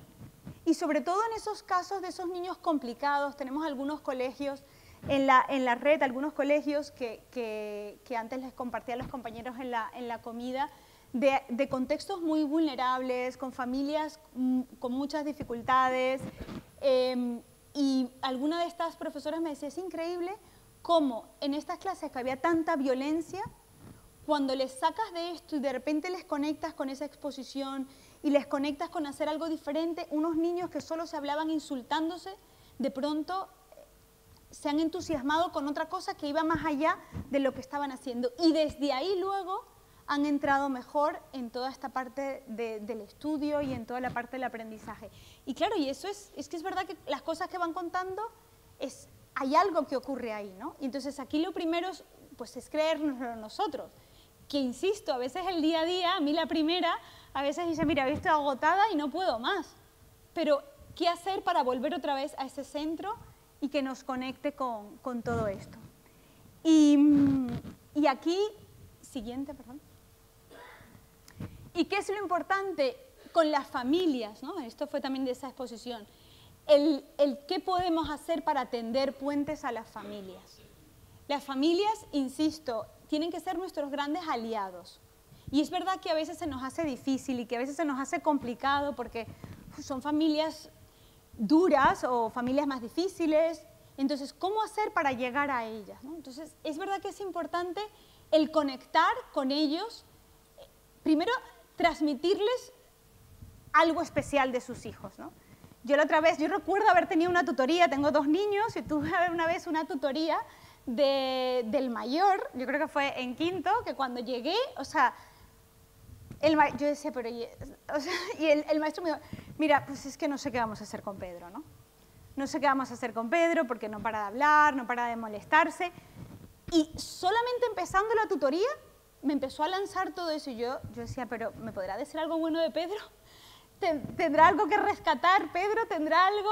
Y, fui yo la que le tuve que preguntar, ¿y hay algo que mmm, se puede hacer con Pedro? Y me dice, hombre, a ver, claro que sí, se puede hacer mucho con él, hombre, no, yo estoy diciendo esto es para que sepas lo que, lo que le está distrayendo. Y yo, ya, pero, hombre, vienes a una tutoría que luego son 20 minutos, media hora, y incluso trabajando en este contexto también necesitas que lo primero sea que te digan, oye, mira, el niño, pues oye, es muy buen amigo, tiene esto, tiene lo otro. Y si es verdad que tenemos que trabajar, los dos, tenemos que trabajar en que no para de hablar y no para de levantarse. Pero es diferente, lo recibes diferente a si te sientas y lo primero que haces es que te dicen, esto, esto no tiene solución, ¿no? Entonces, eh, saber que estamos en equipo, saber que somos unos aliados, saber que de alguna manera cómo conectar con el otro, cómo hacerle sentir, oye, estamos aquí no para juzgarte, estamos aquí para escuchar a la familia, cómo poder tender puentes. Pensar yo, si yo soy padre y voy para allá, ¿qué puedo hacer para que conecten mejor con, conmigo? ¿no? Seguro que es transmitiendo cosas positivas, seguro que es escuchando, seguro que es evitando juzgar y seguro que es tratando de hacer espacios donde podamos compartir más. ¿no? Eh, estamos llegando un poco al final y quiero también que dejemos espacio para las preguntas. Yo sé que son muchas cosas y sobre todo que vosotros tenéis la experiencia del día a día y la experiencia de, de, de compartir. A mí una de las cosas que me gustaría es que si esta misma pregunta esta misma pregunta que yo os hice al principio, de que cada uno pensara en quién es ese profesor que os ha dejado huella y que ha sido especial para vosotros, si yo dentro de 10 años, a los que estuvieran sentados aquí, fueran a vuestros alumnos de ahora, como le ha pasado a Cristi como le ha pasado a Ana Belén, si dentro de 10 años yo tuviera sentado aquí a todos vuestros alumnos de este momento, lo que me gustaría es hacerles esta misma pregunta y que estos alumnos que tenéis vosotros ahora, sin dudarlo, dijeran vuestros nombres. Que dijeran vuestros nombres sin dudarlo.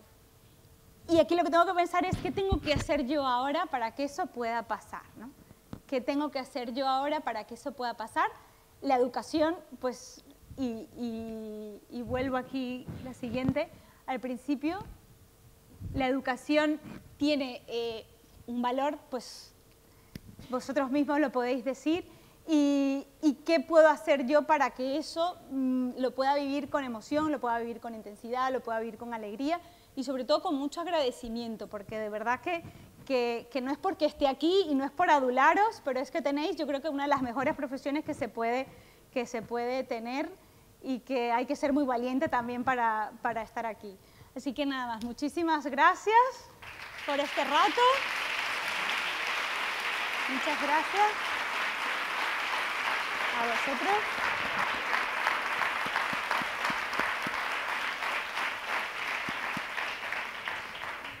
Y, y teníamos ahora también un espacio de preguntas. Por favor, no os quedéis... Sé que estáis deseando preguntar.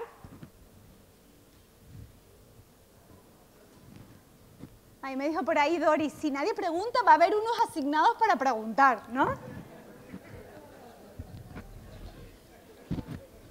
Y si no, os pongo una obra de arte y os pido que empecéis a decirme qué sentís con la obra.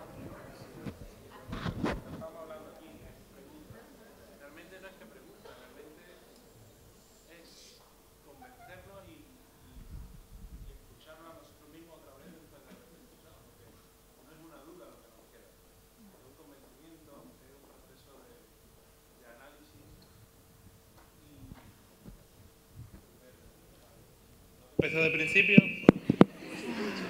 No, Dios, esto hay que, poner, hay que ponerlo lejos. De pie. No, muy lejos. ¿eh? Decía que, que más que una pregunta, que es lo que hablábamos aquí en pequeño foro rápidamente, era el, el trabajar todo lo que has dicho, todo lo que nos has enseñado y que quedara como un convencimiento, porque como decías, hay que creerlo, hay que ser ejemplo, hay que... Entonces, no es una duda lo que nos puede, yo por lo menos por aquí, no es más que duda, es eso. Era agradecerte y, y- y que por lo menos, hablo aquí ya en lo personal, ha servido de mucho, porque hay que creer, Ya. hay que creerlo. Gracias. ¿Tu nombre? Randy, Gracias. Esa es la parte, esa es la parte más difícil. O sea, la parte más difícil es luego decir, eh, pero que nos pasa con todos. Yo no sé si aquí hay alguien, algún, alguien que haya corrido alguna vez una maratón. A ver, o alguien que corra, que haga deporte. Nadie corre, nadie hace deporte. Cristina, ¿hay- ¿no hay un deportista que haga algo? Sí, ¿no? Sí. que si no, que si no las próximas jornadas van a tener que ser de educación física. Eh, esto es como todo, como todo lo que a veces, todo lo que a veces queremos, pero que también nos cuesta, ¿no? Entonces, hay un primer paso que tiene que ver con, con esa conciencia primero de nosotros. Hay un paso inevitable que es que nos tenemos que conocer a nosotros. O sea, yo estoy ahora aquí, pero yo soy, eh, eh, dentro de los tipos de personalidad están los que son alondra y los que son búhos, ¿no? Alondra son los que se levantan en la mañana con una energía increíble, que pueden, eh, el mundo se lo comen y a medida que va pasando el día se va debilitando la cosa, ¿no? Yo soy de esas. En la mañana veo todo de un color diferente y a medida que la noche se va acercando ya no quedan recursos, ¿no? Y mi marido mi marido es completamente diferente, es el otro opuesto. Él de día no hay que hablarle en la mañana y en la noche, bueno, entonces nos encontramos en el mediodía, ¿no?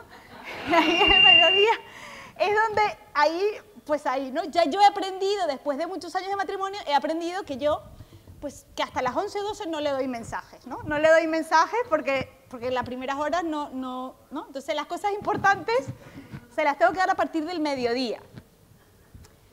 Y claro, y, y- y doy cursos de empatía, de los largos. Y más de una vez a veces en la noche me viene a decir algo y justamente le doy esa respuesta no empática. La que, la que es de que, bueno, pues a ver, ¿no? Entonces, claro, más de una vez me dice, oye, Eri, te la pasas dando tal, pero es que ni me escuchas, ni me estás ayudando, ni me estás tal. Y es, y es verdad, ¿no? Porque a veces, claro, eh, porque somos humanos y porque esto no es, que va un poco con lo que estás diciendo, Randy, es así. Pero digo que trabajando en esto me pasa a mí también día a día y a veces digo, mira, ahí está, la vecina debe estar diciendo, yo cuando le pego un grito a mis hijos, cuando ya no puedo más y me pierdo la paciencia, digo, la vecina debe estar diciendo, mira ahí, la psicóloga, la de la educación emocional. La de la educación emocional, mira cómo ella también grita, ¿no? Entonces, eh, eh, sí, claro, ¿qué pasa? Que luego me acuesto fatal y digo, lo he hecho mal, otra vez mal, y además con conocimiento de causa, ¿no? Saber que lo he hecho mal. ¿Qué me toca hacer al día siguiente? Pues pedirles perdón a mis hijos, por lo menos, decirle, mira, a ver, me sabe fatal esto, y te tengo que pedir perdón porque no me gusta, pero entiende tú también lo que ha pasado, que es de noche, mamá está cansada, os ponéis a pelear, pasa esto y pasa esto y pasa esto, entonces, lo he hecho mal, pero como estamos formándonos en esto, como ya somos más conscientes, como nos vamos conociendo, lo que nos queda es, venga, ¿cómo lo soluciono? Pues venga, mañana al niño le voy a pedir perdón, le voy a decir, mira, no está bien lo que he hecho y no me gusta gritarte, pero mira lo que pasa, ¿no? Entonces, claro, esto no, yo sé que esto, si cuando lo preparaba también decía, claro, es que esto, sí, luego lo difícil es, claro, ¿no? Pero estos espacios de compartirlos, de darnos cuenta también entre nosotros, "Jo, es que esto me cuesta, de poder compartir y hacer comunidad ahí para apoyarnos unos a otros, también hace mucho, porque también empuja, ¿no? O sea, no, no podemos hacer estas cosas solos. Solos no podemos. Solos no estamos de por sí, pero no podemos vivirlo solos, ¿no? ¿Alguna pregunta más? ¿Está en verde? Sí, ahora. Primero decirte, agradecerte todo lo que nos has dicho, ¿no? O sea, como Randy, yo creo que a veces nos viene bien un poquito de un chute de estos, de que nos, nos des un espaldarazo en, nuestra labor, ¿no? Mm, has hablado de, educar para la sociedad, ¿no? Pero como yo imagino que estás en una fundación donde tenéis un, unos estudios y tenéis una información muy potente, ¿qué crees que la sociedad nos pide a nosotros como docentes, como educadores? ¿no? ¿Qué línea, qué estilo, por dónde tendríamos que ir? Yo tengo mi, intuición, pero, pero es mi intuición. Yo, yo quiero la, las palabras de una experta, ¿no? Como eres tú. Bueno, eso es una pregunta, es una pregunta muy difícil, ¿no? Estás de, estás de oposición ya. Porque efectivamente, claro, la sociedad a día de hoy es una, o sea, digo, entra tanto en la sociedad, ¿no? Sobre todo en una sociedad como la que estamos viviendo ahora, con tantos temas convulsos, tantos temas que están ahí, que son temas potentes. O sea, cuando os he dado las cifras del año pasado de, de tener suicidios de niños de 13 años, es un drama. Eso es un drama, ¿no? Entonces, hay crisis, ¿no? Entonces, ¿qué pide la sociedad? A ver, yo no sé lo que pide la sociedad exactamente, pero sí puedo decir lo que necesita la sociedad es forma, educadores que realmente equipen la mochila de esos niños con todo lo mejor, sabiendo que lo que hay fuera es duro, sabiendo que lo que hay fuera es duro y que en vuestros centros, por eso digo que es tan importante, porque tenemos educadores de todo tipo. Yo he recibido vídeos de educadores que, que, que son duros, porque dices, qué duro un educador que hable así, que diga que va a fastidiarle la identidad al niño, que va tal, o sea, no, no me quiero meter en esos temas porque son temas polémicos, pero hay gente que va con la idea de, ¿no? Entonces, eh, pues es que tenemos delante en nuestras, en nuestras manos, en nuestras aulas, personitas que están creciendo, que son muy frágiles y que nosotros vamos abonando y que necesitan referentes. ¿Qué necesitan? Referentes sólidos, coherentes. Eso no quiere decir perfectos. Eso quiere decir, oye, que me vean a mí comprometido, que me vean queriendo, que te quiero. O sea, yo realmente hacer esa labor, que es muy difícil, la labor de decir a mis 28 niños que tengo delante, los quiero querer a todos.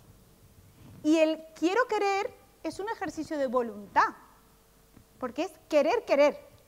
Yo no te quiero de por sí, tú llegas a esta clase y yo no quiero a nadie de los que están aquí, pero quiero que antes de que se acabe este curso, quereros a todos y descubriros y ver qué hay ahí y hacerme ese esfuerzo. Y me falta Kevin Joshua, tengo que ir a por Kevin Joshua. Tengo que antes de que acabe el curso querer a Kevin Joshua. Y ya vamos por abril y ya se me está acabando. Pues es que, Adriana, no podemos llegar a junio sin querer algo a Kevin Joshua. ¿no? Entonces, necesito, necesito, yo necesito educadores que sepan que lo que está afuera es duro. Y que entonces necesitamos chicos con referentes, con, con espíritu crítico, que pueda decir qué cosas están bien y qué cosas están mal, aunque fuera te digan que lo que está mal está bien. Es que es complicado, porque estamos viviendo momentos donde me están manejando y diciendo lo que está mal, igual no está mal, igual puede ser que esté bien. Y lo que dice tu papá, pues puede ser que no esté. Entonces, imagínate el cacao que le hacemos a veces. Es más importante que nunca tener educadores, maestros que quieran, que quieran dejarse la piel y es el riesgo y es el valor también de educar, pero que quieran apostar ahí, decir, oye, yo te quiero, quiero que durante estos 10 meses te vayas con esa mochila que no te quepa algo más, ¿no?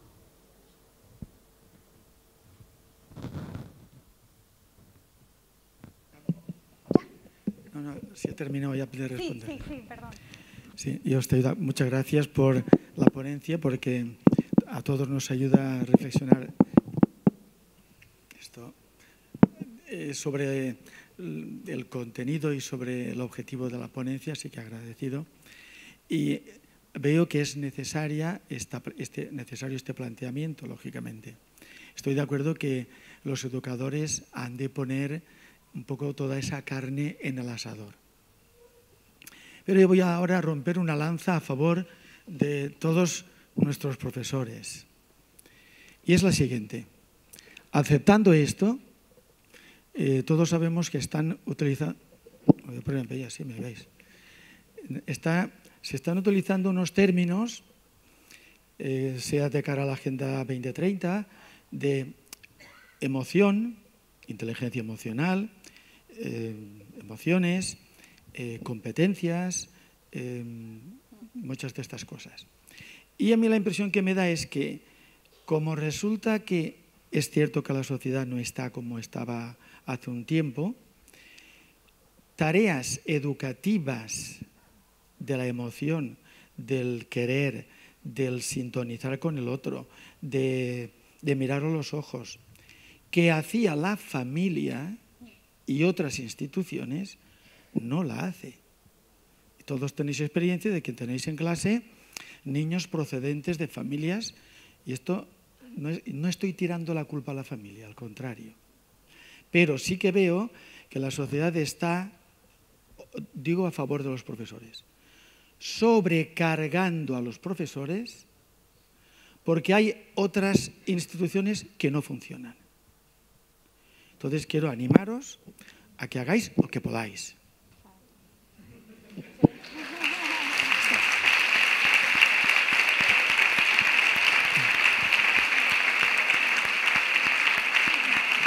No, aprendáis. Eso les pasa también a mis curas. Pasa lo mismo. Entonces, a veces los que trabajamos con personas, que lo he dicho antes, eh, no es igual estar trabajando en lo que sea que estar muchas horas eh, con personas. Y tenemos una grandísima responsabilidad. Entonces, los que trabajamos con personas eh, ponemos mucha carne en el asador, nos tenemos que implicar. Esto es lo de, lo de la gallina y el cerdito, ¿no? ¿eh? La gallina pone huevo, el cerdito pone, pone su vida. Y aquí los profesores ponéis la vida. ¿eh? No ponéis un, eh, como la gallina, sino ponéis vuestra carne y para que... Así que lo que quería es sencillamente animaros y deciros muchas gracias lo que estáis haciendo y que, que no os, a ver, que no os, nos apabulle ¿eh? la, exigencia que tiene nuestra sociedad que por otra parte debería trabajar, y ahora digo a los políticos, más de cara a la familia, que no se trabaja. Y al final, ¿quién carga?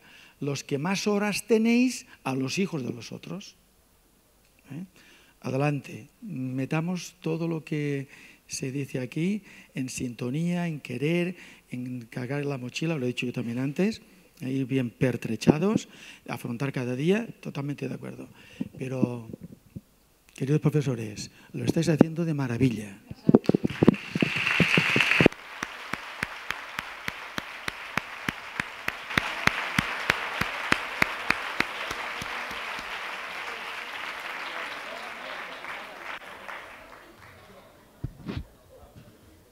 Me encanta.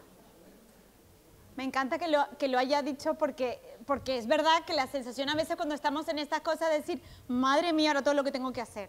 Y todo lo contrario, ya simplemente el hecho de, de estar aquí, vuestro, vuestro compromiso y vuestra implicación, por supuesto que ya es, es todo y es el, es, el, es el gran paso. ¿no? Gracias. Esto, mira.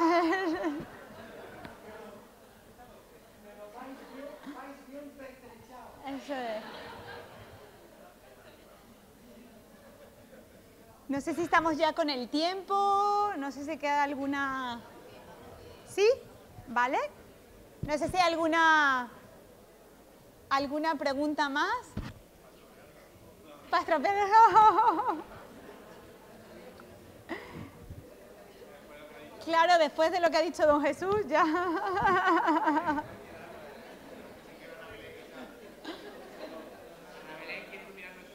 Ana Belén. Es que esto nunca me, había, nunca me había pasado hacer una pregunta de esta y que me dijeran que el profesor estaba en el auditorio. ¿Sí? Bien, pues entonces lo... Vale. Pues entonces aquí ya me quito el micrófono. Me bajo ya. No, no, quédate. Ah, no, me, me quedo. Ah. Quédate un segundito, Adriana, porque si no me equivoco, así. Eh, estamos en la décima edición de la jornada de la Fundación.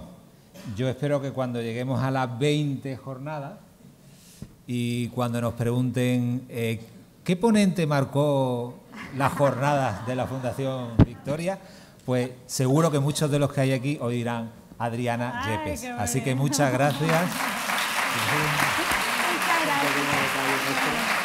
Qué bonito. Gracias. Gracias. Muchas gracias. Gracias. Gracias. Muchas gracias. Muy bien, pues eh, nos vamos a casa a descansar, ¿verdad? Nos vamos rumiando, ¿verdad? Rumiando lo que hemos eh, venido escuchando este tiempo. Nos vamos eh, llevándonos a casa esta reflexión y mañana continuaremos con unas, eh, unas nuevas ponencias. Sabéis que tenemos la ponencia de Javier Urra, eh, concretamente el título es Lo que la mirada esconde, y luego la mesa redonda que eh, moderará José Manuel Guerra. Que descanséis, mañana nos vemos a las 10 puntuales, a las 10 empieza puntualmente, empezamos con la oración, ¿vale? Pero antes de despedirnos sí que nos vamos a quedar con un vídeo, porque sabéis que los colegios diocesanos eh, trabajan desde el comienzo de este curso los Objetivos de Desarrollo Sostenible, son ODS, eh, y en este vídeo vamos a ver algunos de las actividades más destacadas desarrolladas por nuestros colegios. Así que nos quedamos viendo el vídeo y hasta mañana si Dios quiere.